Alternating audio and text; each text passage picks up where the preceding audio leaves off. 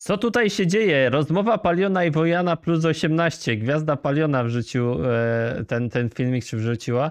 E, zapraszamy serdecznie do niego. Co ten Wojan o kiszonych ogórasach? To, się, to nie jest chyba złe, to. Dobra, Co to ma być? Już jadł. Zgniły ogóras. Nie.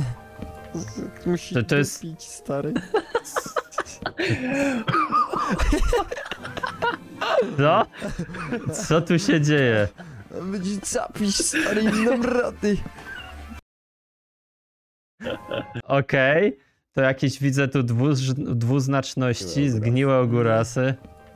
Musi dup... No proszę, z jakiego to odcinka jest w ogóle?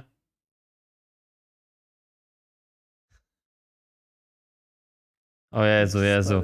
I nawet wytłumaczenie jest od Gwiazdy Paliona, no ciekawe.